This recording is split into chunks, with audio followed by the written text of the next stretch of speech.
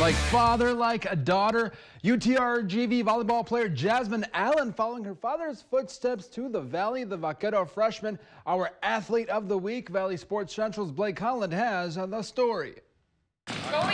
New year, new faces for UTRGV volleyball.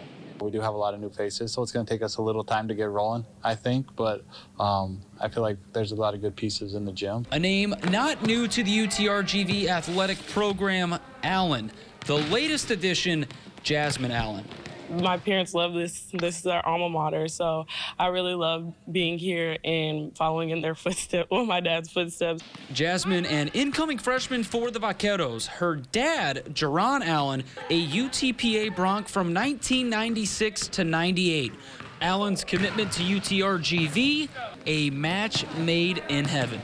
She came down a couple years in a row to camp and got out and saw her a couple times in club and just thought that um, you know, she would be a good fit for us. They were so happy. I do have family here still, so they're just full of joy. They're ready for all the games. They're going to be here cheering all of my family.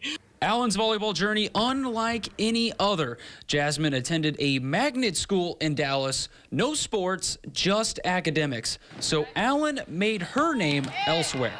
I would go to practice in the morning, go home, take a shower really quick, travel the 30 minutes to school, leave school, travel the 30 minutes back, and go back to school. Um, it was pretty challenging, but I think it set me up for everything college, being a college athlete has to come. So, Jerron establishing the Allen name at UTRGV. It's now Jasmine's turn to carry on the Allen legacy. In Edinburg, Blake Holland, Valley Sports Central.